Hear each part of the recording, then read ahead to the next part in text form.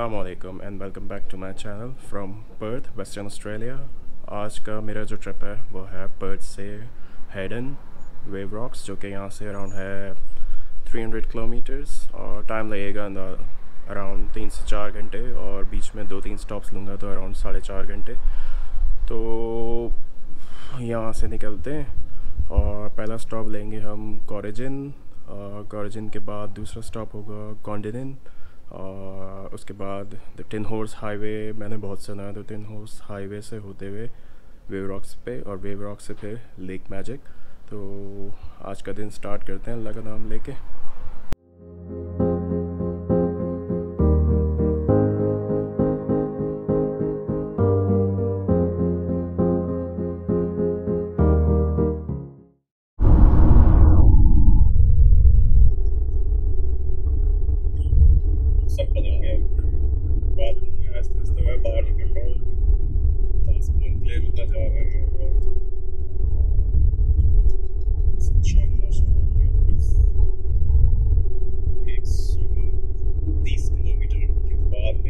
Start कर break कर पूरा स्क्रैच कर दो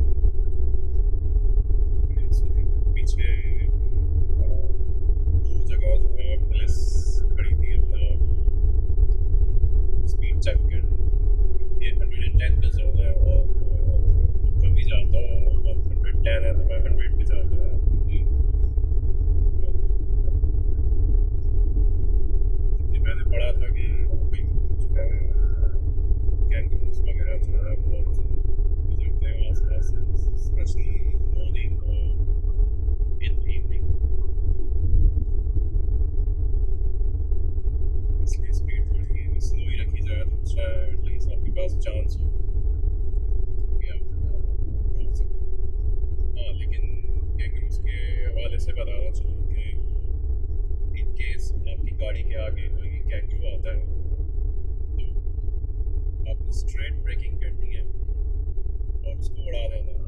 अगर जहाँ आप इधर उधर पड़े तो कदम का फिर आप बच नहीं सकते। आप उसको गाड़ी भी लगेगी और मे बी बीच। में अगर कैंगरू आता है बेटर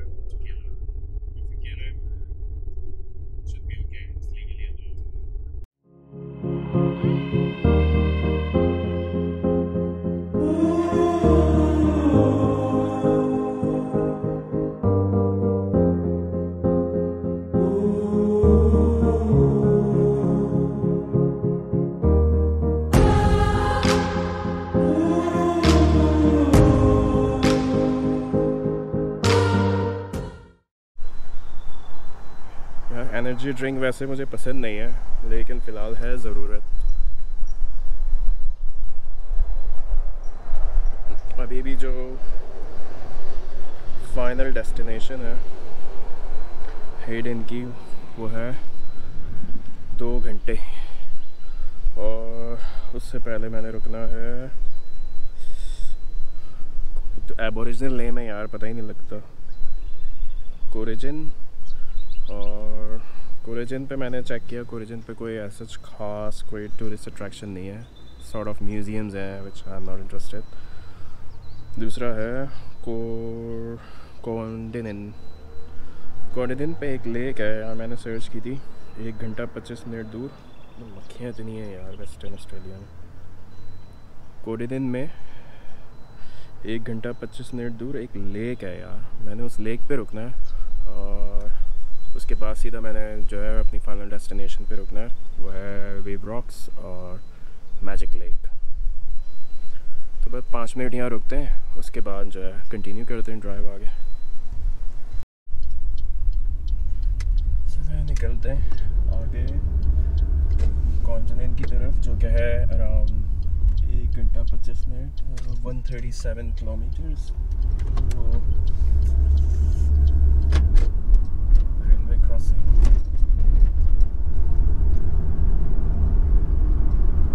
तो खैर खैरियत से पहुँच जाए उधर भी। दिन पे यार तो कैमरा शायद नहीं जा रही मेरी।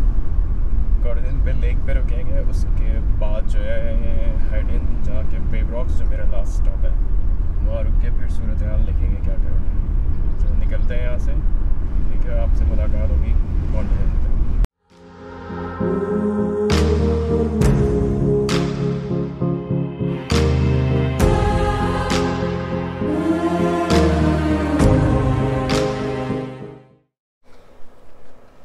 हाँ भाई। कॉर्डिन पे, कॉर्डिन लेक विज़िट करने के बाद मैं वहाँ से निकला था। और अभी मैं सीधा वेव रॉक पहुँचा हूँ, जिस पार्किंग में लगाई है गाड़ी।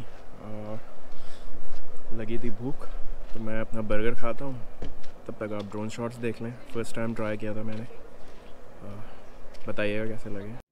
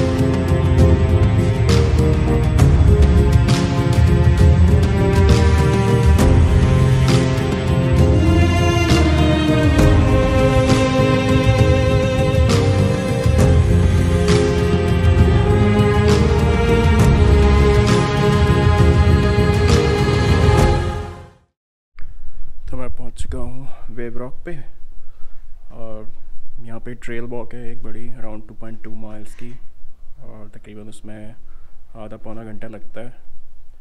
तो वो स्टार्ट करते हैं। और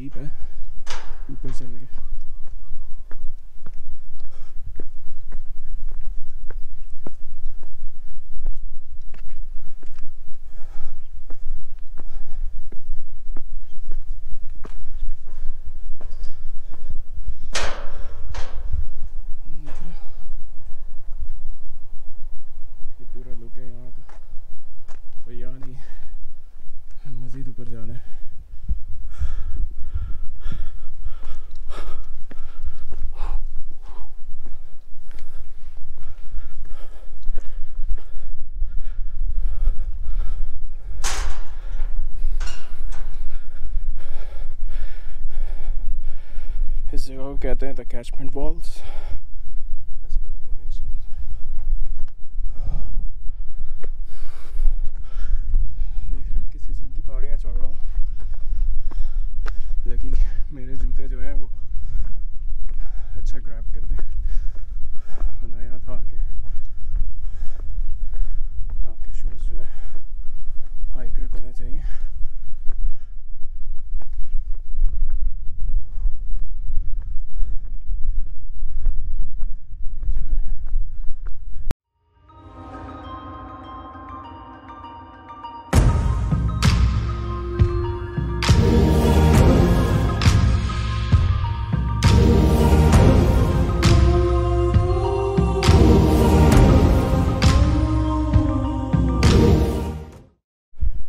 जगह का एक ड्रॉबैक है। यार ये कि यहाँ मक्खियाँ बड़ी हैं। अगर आप आओ तो अपने साथ कैप और कैप के साथ जो है नेट जो होता है, इन्होंने कहा भी था इन्होंने। लेकिन जो है, ये इतनी मक्खियाँ हैं यहाँ पे यार। चलते हैं मज़ीद ऊपर। इन रॉक्स पे चलते हैं जो जगह है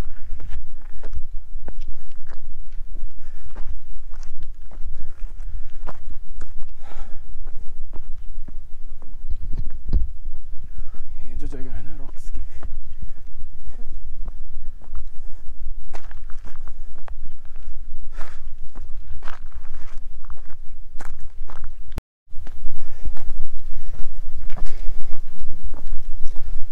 पता नहीं ये शायद इसको गप्पी कहाँ कहते हैं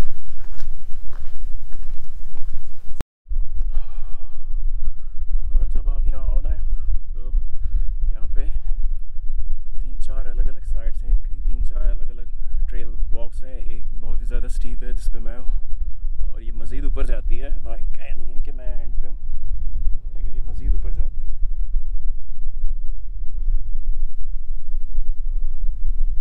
यहाँ बैठा हूँ थोड़ी देर और जो है वो हिप्पो यौन है, हिप्पो यौन। वो एक पत्थर है जो हिप्पो की तरह जिसका मुँह यूँ खुला है।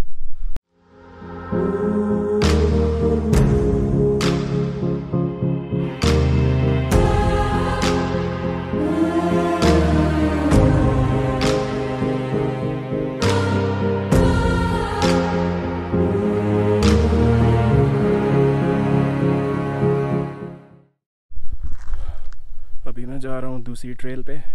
पहली ट्रेल जो थी, वो ऊपर रॉक्स पे थी। दूसरी ट्रेल ये नीचे। उसको अच्छे से देखते हैं।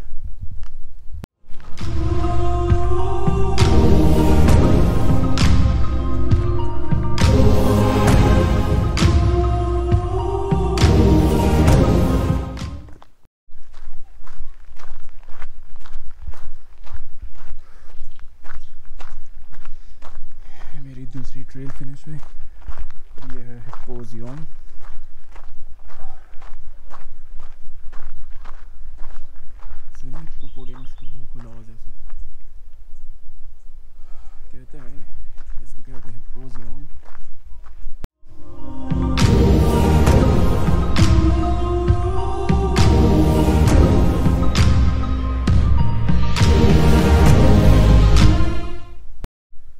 दूसरी ट्रेल हिप्पोयोनिंग खत्म फिनिश करने के बाद मैं आ गया अपनी गाड़ी पे। थोड़ा सा रेस्ट किया, जो मैं लाया था लंच मैंने वो लंच किया, पानी वानी पिया और फिर मैं थोड़ा रिलैक्स कर रहा हूँ। बस अभी निकलूँगा पर्थ की तरफ़। पर्थ का रास्ता यहाँ से है तकरीबन साढ़े तीन से चार घंटे का। तो पहुँचते पहुँचते अंधेरा हो जाएगा और मैं चाह रहा हूँ कि रोशनी में ही ज़्यादा से ज़्यादा सफ़र अपना कर लूँ, क्योंकि इन रोड्स पे, इन हाईवेज़ पे कैंगरूज़ की एक्टिविटी बढ़ जाती है वाइल्ड कैंगरूज़ की। तो बहुत मोहतात रहना पड़ता है और अपनी स्पीड जो है संभालनी पड़ती है। तो बस यहाँ अपना व्लॉग ख़त्म करता हूँ। अगर पसंद आया तो ज़रूर लाइक शेयर और सब्सक्राइब कीजिएगा। और ड्रोन फुटेज यार मैं new I am new to drone और I am trying to get my hands on it so soon the footages will be more better thank you इंशाल्लाह फिर मुलाकात होगी नई जगह पे, नई टूरिस्ट अट्रैक्शन पे। अपना बहुत ख्याल रखिएगा। खुदा हाफिज़।